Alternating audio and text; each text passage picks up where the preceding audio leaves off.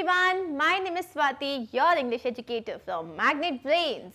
और आज हम स्टार्ट करने वाले हैं फिफ्थ स्टैंडर्ड में जो हमारी मैरी गोल्ड बुक है उसका सेवेंथ यूनिट का एक बहुत interesting chapter and the name of the chapter is Gulliver Travels which has been one of my favourite books in सब अ चाइल्ड क्योंकि इसमें बहुत एडवेंचरस स्टोरी है और बहुत सारी अनएक्सपेक्टेड चीज़ें होती हैं इंटरेस्टिंग स्टोरी है ड्रॉप्स के बारे में जाइंट्स के बारे में।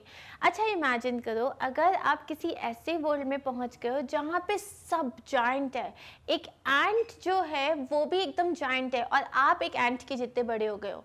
मतलब जस्ट उल्टा कर लो कि जैसे एंट इतनी छोटी सी होती है कॉकरोचेस जैसे होते हैं, उतने छोटे आप हो और आपके जितने बड़े एंट्स एंड कॉकरोचेस हैं। और बाकी हर कोई जाइंट है। ऐसा लगेगा ना, पता नहीं कब कौन हमको कुचल देगा, कब कौन हमारे पास पैर रख देगा, या फिर you know it the life is going to be so miserable and tough so here we are going to read a story जिसमें ऐसा ही कुछ होता है। So let's begin so now this Gulliver Travels actually it has been adapted from Jonathan Swift Gulliver Travels so it's an amazing read summer vacations आ रहे हैं हैं I am sure like if I have got some readers अगर आप सारे जो amazing बच्चे हैं उनमें से कुछ ऐसे लोग हैं जिन्हें बुक्स और स्पेशली एडवेंचरस बुक्स पढ़ना अच्छा लगता है तो गुलिवर ट्रैवल्स को मार्क कर लिया जाए इसे ज़रूर पढ़ा जाए और मुझे बताया जाए कि कैसी लगी। Now before we read we have something When a person tells a story of his life in his own words, it is called an autobiography. अब हमारे पास दो वर्ड्स हैं। एक है बायोग्राफी एक है ऑटोबायोग्राफी सो so, जैसे अगर मैं किसी की लाइफ के बारे में स्टोरी लिख रही हूँ मान लो मैं महात्मा गांधी की लाइफ के बारे में एक स्टोरी लिख रही हूँ तो उसको कहेंगे बायोग्राफी लेकिन अगर महात्मा गांधी अपनी लाइफ के बारे में उन्होंने जो खुद जो बुक लिखी हुई है खुद जो आप अपनी लाइफ की स्टोरी लिखते हो उसे कहते हैं हम ऑटोबायोग्राफी तो जैसे अगर मैंने आपकी लाइफ के बारे में कोई स्टोरी लिखी है तो मैं उसे बोलूँगी मैंने मेरे स्टूडेंट की बायोग्राफी लिखी है लेकिन मैं अगर अपनी लाइफ के बारे में अपनी स्टोरी को लिखूँगी तो उसको मैं कहूँगी ये मेरी ऑटोबायोग्राफी है Understood? Gulliver, a sailor was once caught in the land of giants. So Gulliver जो है वो एक सेलर है जो आप जो शिप पे जो सेल करते हैं सो so, गुलिवर जो है वो एक सेलर है जो एक बार एक लैंड में फंस जाता है। एक स्ट्रेंज से लैंड में जिसमें बहुत सारे जाइंट्स हैं। जाइंट का मतलब क्या होता है? जो लोग बहुत ही यूज़ होते हैं बहुत बड़े होते हैं। This is how he describes his experience और इस चैप्टर में एक छोटा सा चैप्टर है जिसमें उसका वो अपना एक्सपीरियंस डिस्क्राइब करें। तो ये उनकी एक ऑटोबायोग्राफी है। On the sixteen of June 1730 we discovered land अब ये जो थे जो सेलर्स थे इनकी जो एक पूरी टोली थी ये बहुत महीनों से जो है सेल करे जा रहे थे करे जा रहे थे। Finally on sixteen of June 1730 so हम सेवनटीन हंड्रेड्स की बात कर रहे हैं। अभी हम ट्वेंटीज़ में हैं। सो so, आज से ऑलमोस्ट लाइक like, बहुत साल पहले उन्होंने फाइनली लैंड डिस्कवर किया। डिस्कवर मतलब डिस्कवर का मतलब क्या होता है? कोई चीज़ जो ऑलरेडी एग्जिस्ट करती है, उसे ढूंढना। ठीक है? Our captain sent a dozen men with vessels for water, if any could be found. अब क्या है? आप सी में ट्रैवल कर रहे हो, लेकिन क्या वो पानी आप पी सकते हो? नहीं, वो तो सॉल्टी वाटर होता है। तो जैसे ही लैंड मिला तो क्या है? एक होप होती है कि मे बी कहीं पे कोई छोटा सा लेक होगा, या कोई जो है छोटा सा स्ट्रीम होगा, जहाँ से जाके आप पानी भर सकते हो। पानी इज़ इंपॉर्टेंट तो जो इस कैप्टन के जो शिप सॉरी इस शिप के जो कैप्टन थे, उन्होंने क्या किया? अ डजन मैन मतलब ऑलमोस्ट बारह तेरह लोगों को है, बोला, जाओ इस लैंड पे जाओ और जाके पानी ढूंढ के लाओ। सब लोग अपने साथ वेसल्स कैरी कर रहे थे, ठीक है? वेसल्स मतलब बर्तन कैरी किए थे सबने अपने साथ। If could any could be found कि अगर कहीं भी पानी मिलता है तो उसको लेके आओ। When we came to land, we saw no river or spring nor any inhabitants.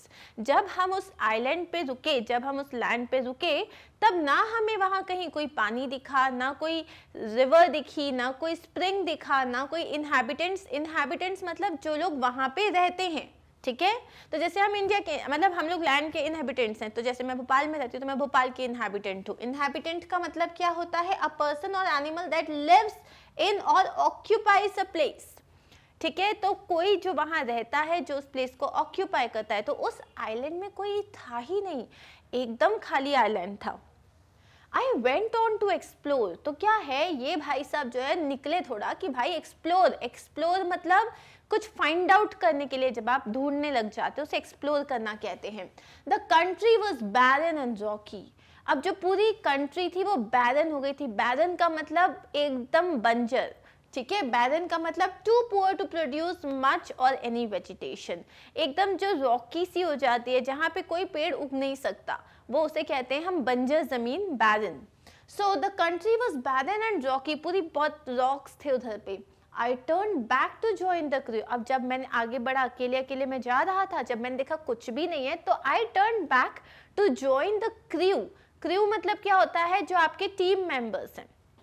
उन सबको मैंने सोचा, मैं ज्वाइन कर लेता हूँ only to see them getting into the boat and rowing for life to get to the ship अब क्या है शिप से ये लोग एक छोटी सी बोट तक इस आइलैंड पे आए थे। क्या देखा उसने जैसे ही वो टर्न किया, कि उसने देखा जितने उसके कंपेनियंस से जितने भी क्रू मेंबर्स थे, वो सब के सब उस छोटी सी बोट में बैठ के अपनी लाइफ बचा के भाग रहे थे। एंड गुलिवर तो यहाँ छूट गया। रोइंग का मतलब क्या होता है? जैसे आप बोट को जब आप रो कर रहे हो, आप चला रहे हो चप्पू से तो उसको मतलब वो फटाफट रो कर रहे थे so that they can they can live and why क्यों? इतने स्केर्ड क्यों थे वो? Before I could reach them I observe huge creature walking after them in the sea. अब इससे पहले कि मैं भी दौड़ के उनके पास पहुँचता, मैंने क्या देखा? एक बहुत बड़ा सा क्रिएचर था। मतलब बहुत बड़ा सा कोई आदमी था जो उनके पीछे भाग रहा था। In the sea as fast as he could और वो जितना फास्ट भाग सकता था उतना फास्ट भाग रहा था। The water of the ocean reached only till his knees ocean का जो पानी होता है जहाँ हम डूब के मर जाते हैं वो पानी सिर्फ़ उसके घुटनों तक आ रहा था। मतलब वो कितना यूज़ होगा। However, the monster was unable to overtake the speeding boat. However, जो ये monster था अब इसको ये monster ये giant है ठीक है? Monster का मतलब क्या होता है? कोई बहुत ही विकेट सा पर्सन क्रूअल सा पर्सन यहाँ मॉन्स्टर इसीलिए कहा गया है क्योंकि वो बहुत ज़्यादा बड़ा है. नॉर्मल ह्यूमन रेंज में वो आता ही नहीं है. तो ये जो मॉन्स्टर था हाउ ये उस स्पीडी बोट को फॉलो नहीं कर पाया कैच नहीं कर पाया क्योंकि वो एक बहुत फास्ट बोट थी. आगे क्या हुआ देखते हैं. I turned back quickly and climbed up a steep hill with fields of barley on either side and the corn rising up to 40 feet. अब क्या हुआ? उसने तुरंत एक हिल पे चढ़ा वो। ठीक है? उसके लिए वो हिल थी। लेकिन क्या वो एक्चुअली में कोई हिल था हमें नहीं पता। सो so, वो तुरंत जैसे उसने देखा अरे वो जाइंट तो उसके पीछे भाग रहा है। अगर उसने मुझे देख लिया तो अपनी जान बचाने के लिए वो तुरंत टर्न हुआ और एक जगह चढ़ने लग गया। अब उसने क्या किया? दोनों ही तरफ़ उसके बाली। बाली क्या होती है? एक तरीके का जैसे गेहूँ होता है ना तो उसी तरीके का एक ग्रेन होता है वो, ठीक है? बाली क्या होता है? एक सीरियल होता है, एक हार्डी सीरियल होता है। तो दोनों तरफ़ जो थे, खेत थे बाली के, और कौन भी था, और कौन जो था, वो 40 फीट जितना ऊपर बढ़ रहा था। मतलब हमारा कौन जो होता है भुट्टा जो होता है वो इतना ही बड़ा होता है। लेकिन उनका कितना था? एक डबल एक बिल्डिंग के ऊपर एक और बिल्डिंग रख दो उससे भी बड़ा बड़ा था। There was a fence to pass from one field to another और एक बहुत बड़ा फेंस था। फेंस क्या होता है हमारे पास? जैसे कि फेंस uh, का मतलब uh, जो आप कवर करते हो जैसे फील्ड्स के बीच में आप तारों की झाड़ी लगा देते हो ना इस तरीके की होती है वो। ठीक है? तो वो इसमें ना जो तार लगा देते हो तार, इससे क्या होता है कि कोई एक जगह से दूसरी जगह क्रॉस नहीं कर पाता, उसको हम फेंस कहते हैं। तो अब एक जगह से दूसरी फ़ील्ड में जो सेग्रीगेट करने के लिए अलग अलग करने के लिए उसमें फेंस लगे हुए थे। It was impossible for me to climb because every step was six feet high. अब वहाँ सीढ़ियाँ थी। लेकिन it was so difficult for him to climb क्यों क्योंकि एक एक जो सीढ़ी थी एक एक जो स्टेप था वो सिक्स फीट बड़ा था मतलब एक जो था वो ऑलमोस्ट इतना इतना बड़ा था I was trying to find a gap in the hedge when I discovered one of the inhabitants in the next field walking towards the fence. I was trying to find a gap gap in the hedge. अब वो क्या कर रहा था जैसे ये ये खेत है मान लो तो खेत में क्या होते हैं? ऐसी पूरी क्यारियाँ बनी हुई हैं, ठीक है? पूरे और फेंस लगे हुए हैं। तो हेज मतलब जो छोटे प्लांट्स होते हैं। तो जो छोटे प्लांट्स का ग्रुप था तो उसने सोचा, यार, बीच में कहीं थोड़ी बहुत जगह होगी तो मैं वहाँ से निकल जाऊँगा। हेज मतलब क्या होता है? A fence or boundary form by closely growing bushes or shrubs तो बहुत पास पास में जो होते हैं आप बुशेस या प्लांट्स लगाते हो ना तो उसने सोचा बीच में कहीं कोई जगह होगी तो मैं उधर से निकल जाऊँगा। तभी उसने क्या देखा? उसने देखा कि एक एक इनहेबिटेंट मतलब वहाँ पे रहने वाला कोई एक आदमी था जो उस खेत की तरफ़ आ रहा था walking in the next field जो नेक्स्ट फ़ील्ड में था वॉकिंग टूवर्ड्स द फेंस वो फेंस की तरफ़ आ रहा था। उसी फेंस में जहाँ पे वो था। He was of the same size as the creature chasing the boat मतलब वो भी उतना ही यूज़ था जितना यूज़ जो प्रीवियस क्रिएचर था जो कि बोट को चेस कर रहा था वो भी उतना ही बड़ा था I was struck with utmost fear and astonishment and ran to hide myself. I was struck with utmost fear मतलब मुझे बहुत ज़्यादा डर लग गया utmost मतलब too much ठीक है एक्सट्रीम मुझे बहुत ज़्यादा ज़ोर से डर लग गया and I was also astonished astonish मतलब सरप्राइज़ कि इतने लंबे लंबे लोग, इतने जॉइंट्स यहाँ कैसे आ गए हैं?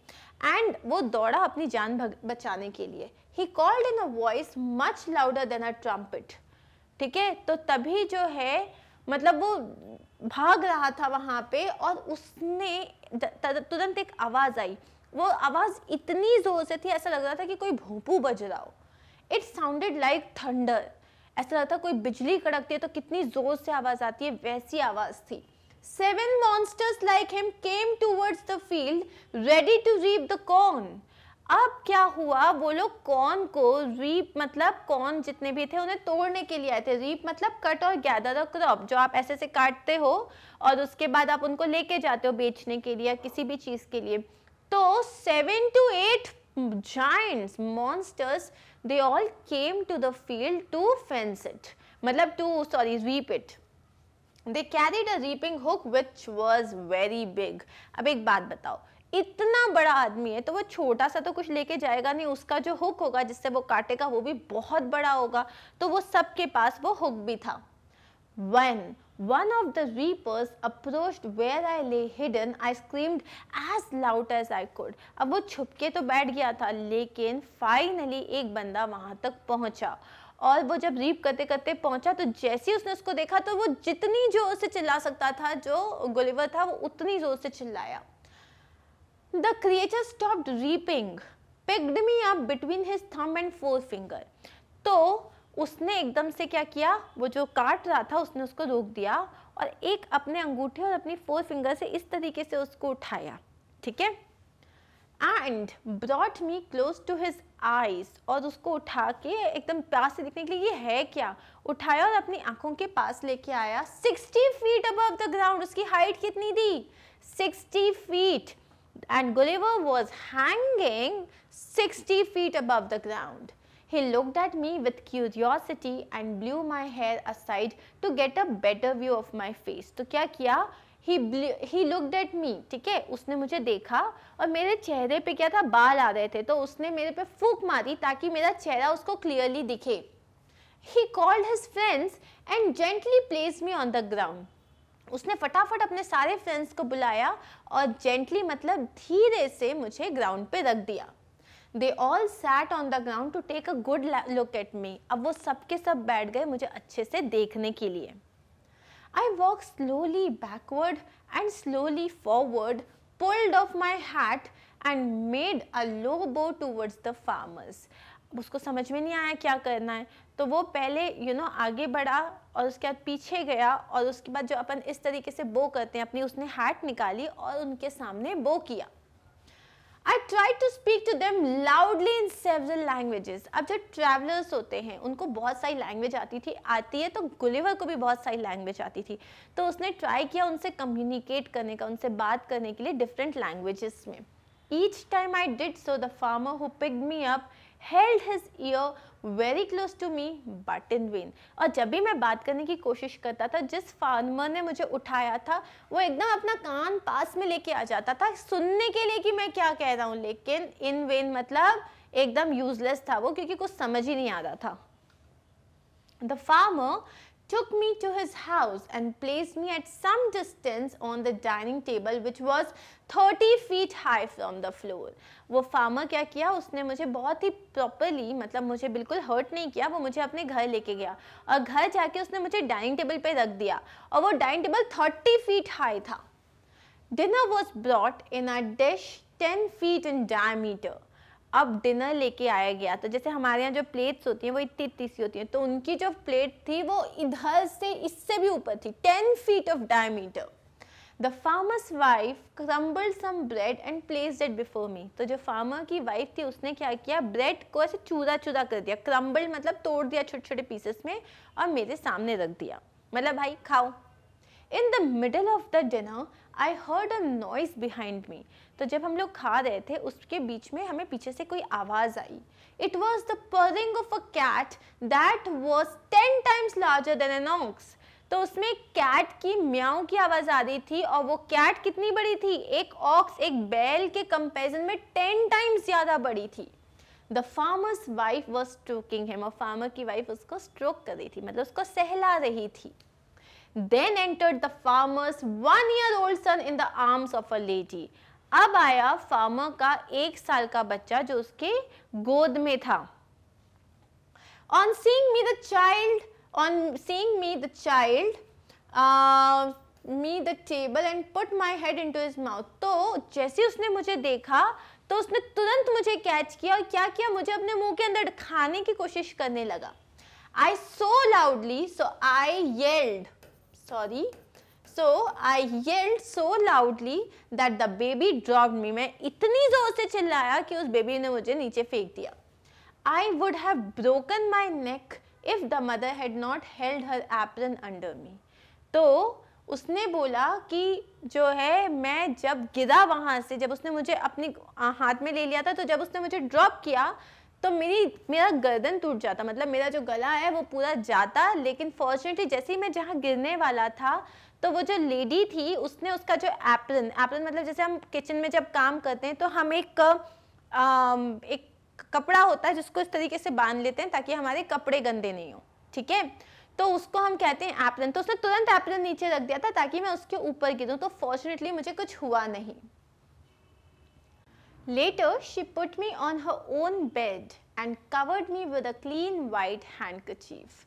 I slept dreaming of my home my wife and my children और बाद में उन्होंने क्या किया? वो जो वुमेन थी उस वुमेन ने उनको अपने ही बेड पे बोला, तुम सो जाओ यहाँ पे। और एक अपने हैंड हैंडकर चीफ्स को उड़ा दिया। अब उनके लिए हैंडकर चीफ मतलब क्या होगा? हमारे लिए तो चादर ही होगी ना उनकी hand handkerchief so and finally he slept there because he was tired and he kept on dreaming of his home his wife and children क्योंकि वो अब जहाँ पे इस वक्त वो है he is he is frightened उसे नहीं पता वो कहाँ पे है, वो यहाँ से कैसे निकलेगा। एंड जब हम बहुत ज़्यादा स्केर्ड होते हैं, जब एकदम लोनली फील करते हैं, हमें हमारे घर की, हमारे पेरेंट्स की, हमारी फैमिली की याद आती है। सो ना this was our chapter Gulliver travels I hope you enjoyed it अगर जानना है आगे क्या हुआ, उसके लिए पढ़ना पड़ेगा। तो अगर मुझे ये नावल पढ़ना और अगर अच्छी लगेगी तो मुझे ज़रूर बताना। Are going to continue with our N C R T solutions ठीक है? तो अब हम क्वेश्चन आंसर स्टार्ट करते हैं। क्वेश्चन आंसर्स बहुत सारे हैं, लेकिन बहुत इंटरेस्टिंग है। Let's begin why did the captain send the man to the land अब कैप्टन ने लोगों को लैंड पे क्यों भेजा था? उसने इसलिए भेजा था बिकॉज़ उन लोगों को पानी सर्च करना था। The captain sent the men to the land to look for water. Very simple answer. The answer is to look for water. Second question क्या है?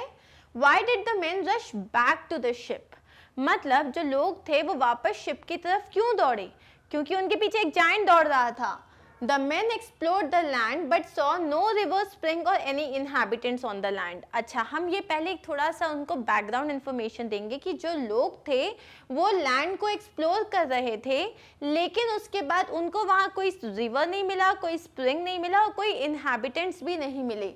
They rushed back to the ship because they were chased by a giant so ये इसका actual answer है that they rushed back to the ship because they were chased by a giant okay next question देखते हैं हम. Choose the correct answer the giant carried a reaping hook क्यों? Giant के पास एक रीपिंग हो क्यों था? क्यों था? क्योंकि उसको कौन की फील्ड्स में जाके कौन काटना था? He was fighting with other giants no he was going to reap the corn? Yes, he wanted to frighten gulliver? No. उसको क्या करना था? उसको सिर्फ़ कॉर्न को रीप करना था. नेक्स्ट क्वेश्चन है हमारे पास. They put Gulliver on the ground to look at him closely वो सब लोगों ने उसको ग्राउंड पे रख दिया और फिर बैठ गए। वो सब उसको देखना चाहते थे। क्यों देखना चाहते थे? They had never seen a human before उन्होंने कभी लाइफ में कभी ह्यूमन नहीं देखा था। They thought it he was a doll they had never seen such a tiny man So the thing was, they had never seen such a tiny man. उन्होंने कभी इतना छोटा आदमी देखा ही नहीं था। क्योंकि ह्यूमन तो वो खुद भी थे। उन्होंने कभी इतना छोटा आदमी नहीं देखा था अब नेक्स्ट क्वेश्चन इज़ गुलिवर कौन था गुलिवर एक फार्मर था एक सेलर था यस yes, वो ड्रॉफ नहीं था वो जाइंट नहीं था वो क्या था वो एक सेलर था next question name the creature to whom you would look like Gulliver. The creature is now extinct and it starts with the letter D. तो ऐसा कौन सा क्रिएचर है जिसको तुम ओ माय गॉड टाइप्स देखोगे? वो है डायनासोर जो अब एक्सटेंट हो चुका है। From the text, write the sentence that tells you the following. The giant reapers were fascinated by Gulliver. अब हमें ये कौन सी लाइन से पता चलता है कि जो giant reapers थे वो fascinated थे? कैसे पता चलता है? इस लाइन से। They all sat on the ground to take a good look at me वो सब लोग बैठ गए। इससे क्या पता चलता है? वो लोग फैसिनेटेड थे। नेक्स्ट है Gulliver was a learned man मतलब गुलिवर इंटेलिजेंट आदमी था। ये कैसे पता चलता है? ठीक है? ऑन ओके सो इसका आंसर क्या होगा? दे यहाँ पे इसका मतलब है जब उसने बो किया था प्लीज़ वाली लाइन को हमें इसमें लिखना पड़ेगा that as soon as you know uh, he moved a bit forward and then backward and then down. तो यहाँ पे हम वाली लाइन लिखेंगे। The farmer's son thought Gulliver was a toy. Farmer के सन को लगा गुलिवर एक टॉय है। ठीक है? ये कैसे पता चलता है? I, on seeing me, the child grabbed me from the table and put my head into his mouth. अच्छा यहाँ जो लिखा है Gulliver was a learn man ये हम इसका आंसर ये भी हो सकता है that you know I went on to explore मतलब वो और जानना चाहता था इसका मतलब वो बहुत इंटेलिजेंट था। Next is the farmer's wife was a kind hearted woman अब हमें ये किससे पता चलता है? कौन सी लाइन से पता चलता है? Later she put me on her own bed and covered me with a clean white handkerchief इससे ये पता चलता है कि वो बहुत काइंड हार्टेड थी। डन अब हमारे पास एक नया क्वेश्चन आता है। Read the following sentences carefully. The giant's farmer voice was as loud as a bellowing trumpet. or the giant's farmer voice was as loud as thunder. When something is very cold, we say it is as cold as ice. This is because ice is very very cold. This is as beautiful as an angel. This is as hot as fire. यहाँ हम कर क्या रहे हैं यहाँ हम दो चीज़ों को कंपेयर कर रहे हैं अब फायर में और, या फिर आइस में और कोल्ड में एज कोल्ड एज आइस हम कंपेयर कर रहे हैं कोल्डनेस को, ठीक है? तो इन्हें कहते हैं हम सिमिलीज जिसको बहुत अच्छे से हम एक्सप्लेन करेंगे ग्रामर पार्ट में, ठीक है? Now complete the following use the words given in the box as dash as a feather अब फेदर कैसा होता है? फेदर तो बहुत हल्का होता है तो we can write here as light as feather as dash as a tortoise अब टोटोइस कैसा होता है? टोटोइस होता है slow as slow as a tortoise as dash as honey honey कैसा होता है? Sweet so as sweet as honey as snow अब स्नो कैसी होती है? ठंडी तो होती है, लेकिन वाइट होती है we can say as white as snow right इन्हें कहते हैं सिमिलीज जहाँ पे हम दो चीज़ों को कंपेयर करते हैं on the basis of one common thing between them okay और ये एक फिगर ऑफ़ स्पीच है जो कि क्रिएटिव राइटिंग में पोम्स में जब आप कुछ इंटरेस्टिंग बनाना चाहते हो उन सब में यूज़ होती है। सो so, आगे भी है हमारे पास तो हम सीधा आंसर्स में जाते हैं। As light as feather as slow as a tortoise as sweet as honey as white as snow as strong as an ox as gentle as night as red as a rose as black as toast as light as breeze ठीक है?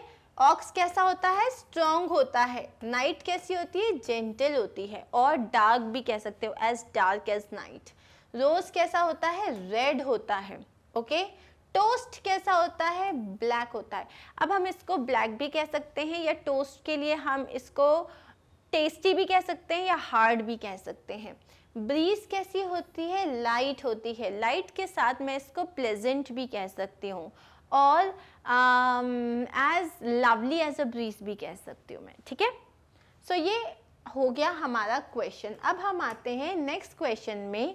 उन expressions को हमें इन sentences में use करना है। For example the old man's hair is as white as snow his feet were as cold as ice the newspaper boy was as slow as a tortoise. I felt as light as a feather. So, these are our answers. Okay? आगे बढ़े। अब हमारे पास question है। यहाँ पे खुद के comparison create करना है। This is fun as tall as Swati ma'am no as tall as a tree as fast as a leopard as high as Burj Khalifa और as angry as mama papa कौन? As angry as a giant और as angry as a lion कुछ भी। As tiny as an ant as brave as brave कौन होता है? Soldier so these are our answer अब यहाँ पे हमने कुछ और लिखा है।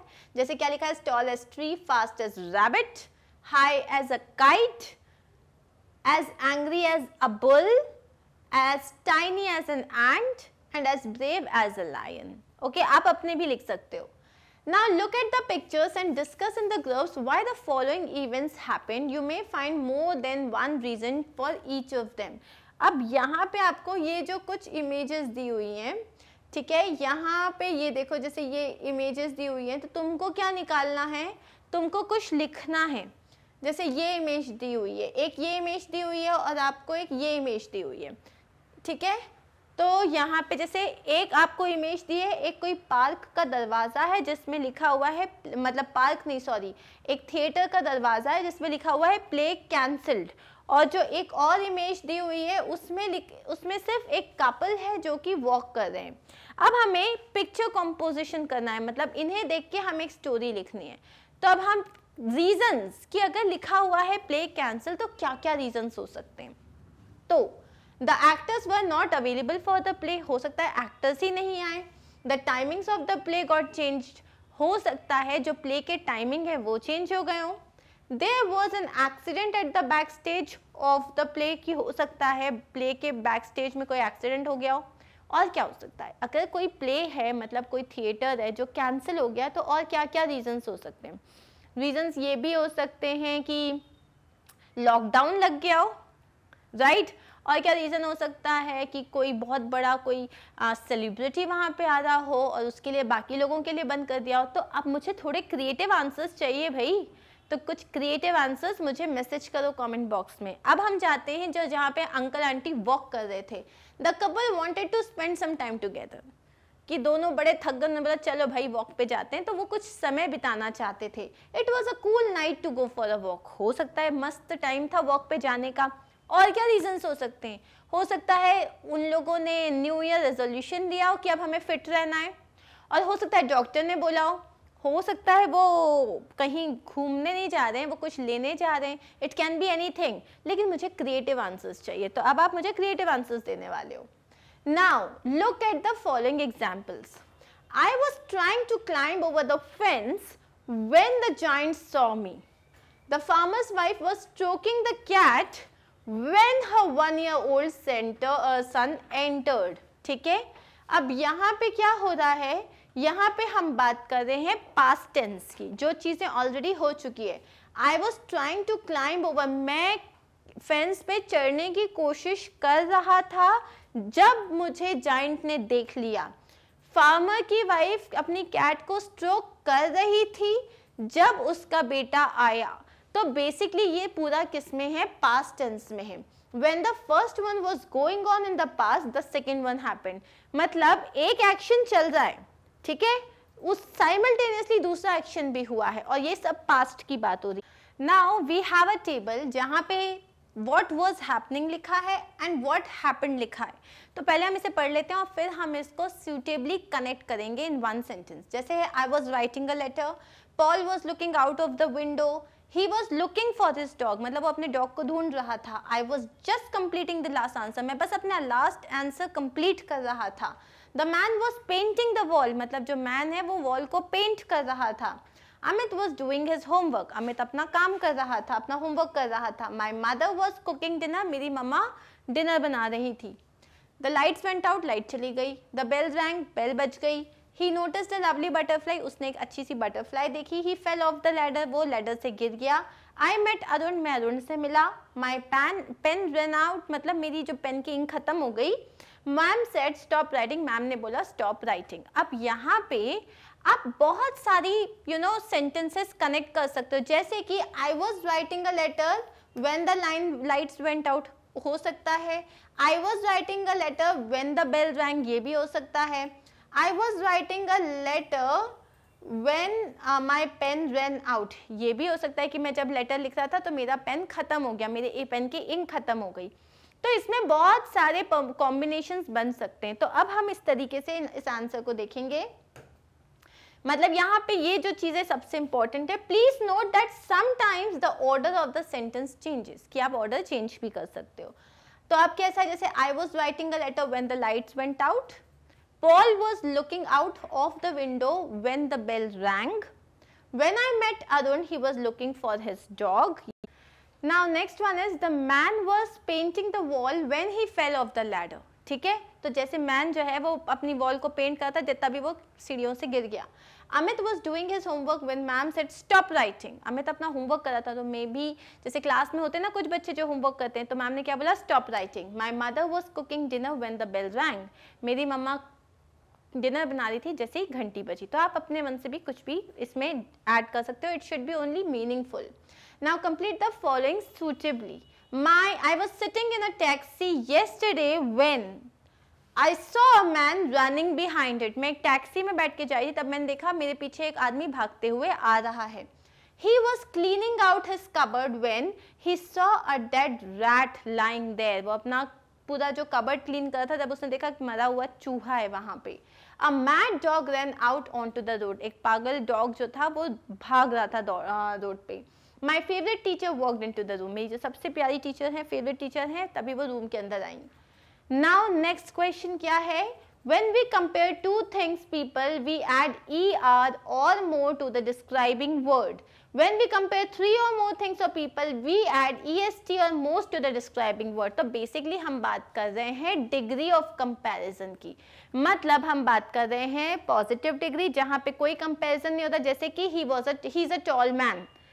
Comparative degree जहाँ पे दो लोगों के बीच में कंपेयर हो. रहा है is taller than uh, Rahim और सुपरलेटिव uh, डिग्री होती है जहाँ पे हम तीन चीज़ों के बीच में कंपेयर कर रहे हैं या तीन से ज़्यादा चीज़ों के बीच में कंपेयर कर रहे हैं. जैसे कि he is the tallest in the class ठीक है? तो जब हमें कंपेरेटिव डिग्री बोलनी होती है, तब हम ई e आर या मोर लगाते हैं। जब हमें सुपरलेटिव डिग्री का, के बारे में बात करना होता है तो हम ई एस टी या मोस्ट लगाते हैं।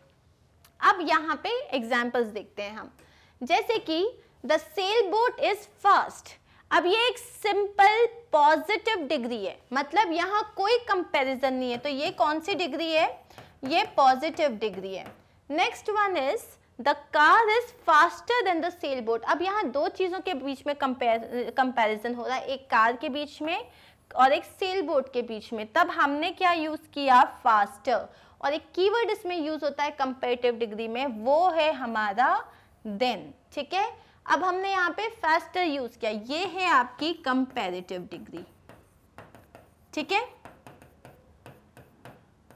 अब है the airplane is the fastest of all अब हमने एरोप्लेन को सब बाकी जितने भी मोड्स होते हैं ट्रांसपोर्ट के सबसे कंपेयर किया है। इसीलिए हमने टी लगाया और इसको हम बोलते हैं सुपरलेटिव डिग्री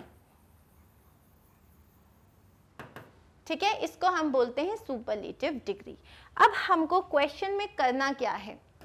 यहाँ पे देखो hitting a target is difficult ये क्या है? Positive degree juggling caps is more difficult than hitting a target तो जगलिंग कैप्स टारगेट को हिट करने से ज़्यादा डिफ़िकल्ट होता है, दो चीज़ों का कंपैरिजन हो रहा है तो ये comparative degree doing complicated magic trick is the most difficult them of all मतलब मैजिक ट्रिक्स को करना सबसे मुश्किल है तो हम यहाँ पे मैजिक ट्रिक्स को बाकी सारी एक्टिविटीज़ से कंपेयर कर रहे हैं तो ये हो गया आपका सुपरलेटिव डिग्री अब हमें क्वेश्चन क्या दिया हुआ है? Now complete the following in the same way using the words easy और स्ट्रॉन्ग तो skipping is easy jumping is या yeah is is is is than than walking is the the of all तो ये है हमारे answers second question देखते हैं. The dog is strong the horse is stronger than dog the elephant is the strongest of all तो ये हमने लिख दिया। बस एक चीज़ है, जब भी हम सुपरलेटिव डिग्री यूज़ करते हैं तो यहाँ पे आएगा हमारा keyword the elephant is the strongest okay next हम जाते हैं हमारे नेक्स्ट क्वेश्चन में। Now complete the following in the same way अब हमें वापस पॉजिटिव कंपेरेटिव और सुपरलेटिव डिग्री यूज़ करनी है एंड जो हमें वर्ड्स यूज़ करने हैं, वो है जूसी और exciting apple is juicy is juicier than apple sugar cane is the juiciest fruit ठीक है? तो इस तरीके से हमने ये लिख दिया। Okay okay? जैसे apple is juicy orange is the juiciest of them all and sugar cane is juicier than apple तो ये है पॉजिटिव डिग्री ये है कंपेरेटिव डिग्री और ये है superlative degree rock climbing is exciting skiing is more exciting than rock climbing दो चीज़ों का कंपैरिजन हो रहा है। River rafting is the most exciting of them all ये है पॉजिटिव डिग्री ये है कंपेरेटिव डिग्री और ये है सुपरलेटिव डिग्री ठीक है? जब हम पॉजिटिव डिग्री यूज़ करते हैं तो हम फ़र्स्ट फॉर्म यूज़ करते हैं। मतलब हम उसमें ना ई आर ऐड करते हैं, ना ई एस टी ऐड करते हैं। फॉल और जैसे कि कोल्ड कोल्डर कोल्डेस्ट कोल्ड हो गया हमारा फ़र्स्ट फॉर्म पॉजिटिव फॉर्म हम उसे यूज़ करते हैं। जब हम दो चीज़ों को कंपेयर कर रहे हैं, तब हम कंपेरेटिव फॉर्म यूज़ करते हैं, जिसमें मोर या ई आर आता है। और जब हम सुपरलेटिव यूज़ करते हैं, तब उसमें हम एक को बाकी सारे से कंपेयर करते हैं और उसमें हम या तो मोस्ट या ई e को यूज़ करते हैं, ठीक है? अब हमारे पास नेक्स्ट क्वेश्चन है यहाँ पे। Correct the use of the describing words in the following sentences अब इसमें कुछ गड़बड़ है, हमें उसे करेक्ट करना है। This is the simpler problem of them all अच्छा प्लीज़ अब इसको ट्राई टू अंडरस्टैंड मैंने बोला, एक मैं क्वेश्चन के बारे में, एक प्रॉब्लम के बारे में बात कर रही हूँ, और जो मैंने बोला, बाकी सबसे ये सिंपल प्रॉब्लम है तो सिंपलर तो कंपेरेटिव डिग्री होती है ई आर यूज़ किया है तो हमें यहाँ क्या यूज़ करना चाहिए? Simplest which is the lightest of the two parcels अब दो ही चीज़ों के बारे में है तो ये लाइटेस्ट होगा या लाइटर होगा लाइटर होगा। He is cleverer than I am इसमें क्या, अब तुमने क्या बोला कि वो मुझसे ज़्यादा क्लेवर है? He is cleverer than I am क्या गड़बड़ है इसमें? पता लगेगा। I like this the best of the two यहाँ पे दो चीज़ों में कंपेयर हो रहा है। बेस्ट कहाँ से आएगा? The flood became badder as the rain increase badder जैसा कोई वर्ड होता ही नहीं है। इट्स वर्स तो अब हम इसमें आंसर्स चेक करते हैं this is the simplest problem of all which is the lighter of the two parcels. He is cleverer than I am. ठीक है I like this the better of the two best of the two नहीं and the flood became worse as the rain increased. Bad badder baddest जैसे कोई words नहीं होते bad worse worst वैसे good better best ठीक है so we are done with this question अब हमें पंक्चुएट करना है। पंक्चुएशंस क्या होते हैं? आप सही जगह पे फुल स्टॉप यूज़ कर रहे हो कॉमा यूज़ कर रहे हो पोस्टॉफी यूज़ कर रहे हो एक्सक्लेमेशन मार्क यूज़ कर रहे हो as per your sentence okay तो अब हमें एक पैराग्राफ दिया हुआ है, यहाँ एक छोटा सा लेटर दिया हुआ है। अब मैं इधर पे ही देखती हूँ। जब भी मैं यूज़ कर रही हूँ, ये मेरा सेल्यूटेशन है। तो डी कैपिटल होना चाहिए, समीर एक प्रॉपर नाउन है तो समीर का एस कैपिटल होना चाहिए। आई यहाँ पे कैपिटल होगा क्योंकि मेरा सेंटेंस स्टार्ट हो रहा है। I am sending you a photo photograph sorry photograph of my newest pet Frisky Frisky एक नाम है तो इसका एफ़ कैपिटल होगा, ठीक है? अब यहाँ पे क्या न्यूएस्ट पेट अब यहाँ फुल स्टॉप आ जाएगा। क्यों? क्योंकि हम, मैंने बताया, मैं तुम्हें अपने न्यूएस्ट पेट के बारे में उसकी पिक्चर भेज रही हूँ। अब तुम बोल रहे हो Frisky is a bull dog and a very playful puppy puppy, यहाँ पे आ जाएगा एक फुल स्टॉप ठीक है? अब बाय का बी कैपिटल हो जाएगा। By next summer summer is the name of a season तो एस कैपिटल होगा।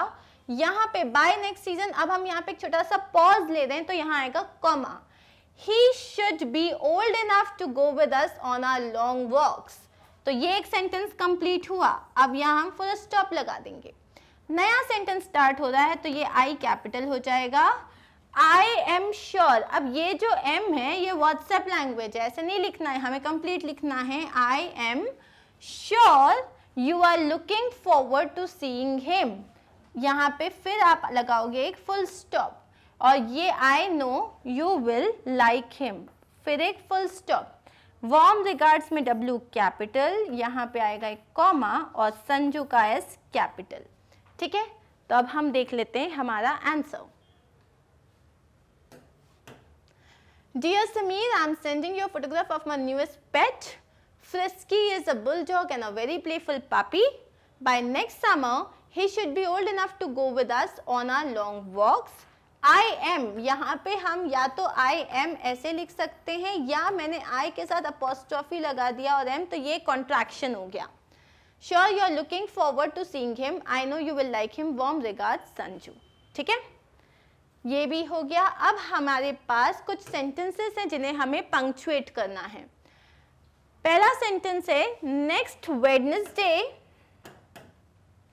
next Wednesday my sister Meeta is going to join the State Bank of India पहली चीज़ N capital start of the sentence next Wednesday Wednesday is the name of a day W capital next Wednesday comma my sister Meeta sorry यहाँ पे common नहीं आएगा. Next Wednesday ठीक है?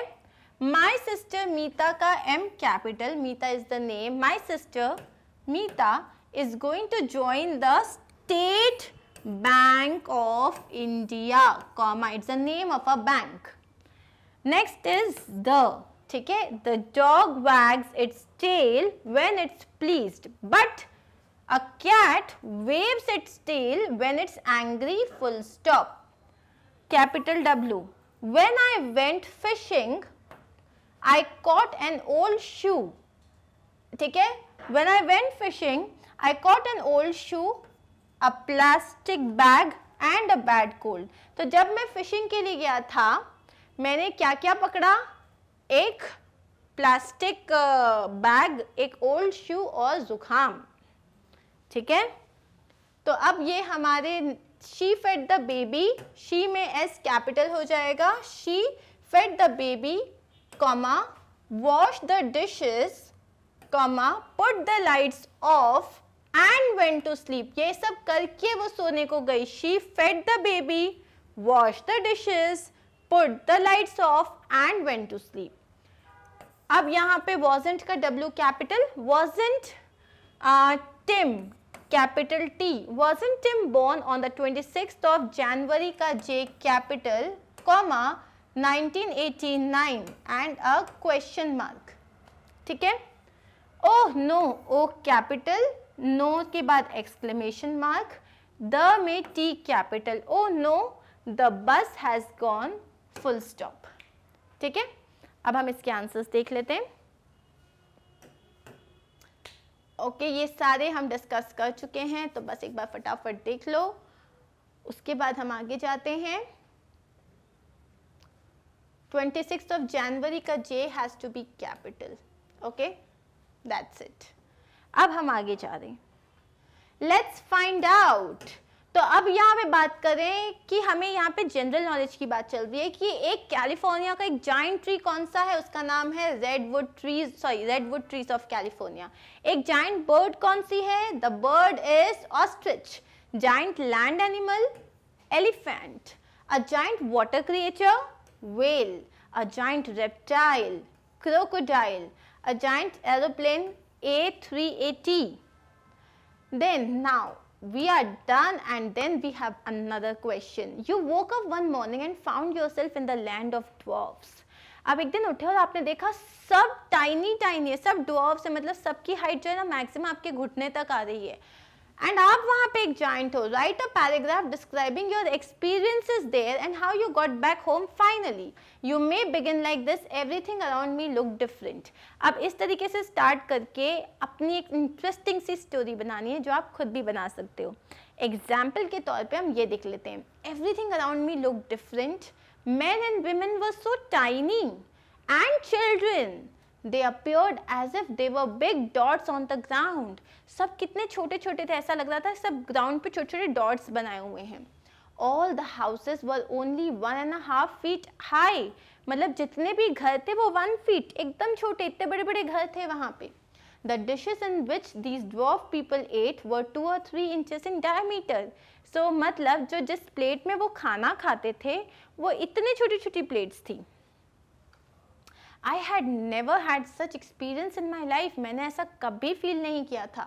I was surprise to see them all मैं उन सबको देख के बहुत सरप्राइज़ था। But equally happy to find that these of people were so kind to me लेकिन मैं खुश भी था ये देख के कि ये लोग मुझसे कितने काइंड हैं। They help me to go back home और उन्होंने मेरे को हेल्प किया ताकि मैं वापस अपने घर चले जाऊँ। So guys that's it and finally the question answers are over thank you so much I hope ये क्वेश्चन आंसर्स आपको अच्छे से समझ में आ गए होंगे। चैप्टर्स चैप्टर हम रीड कर ही चुके हैं।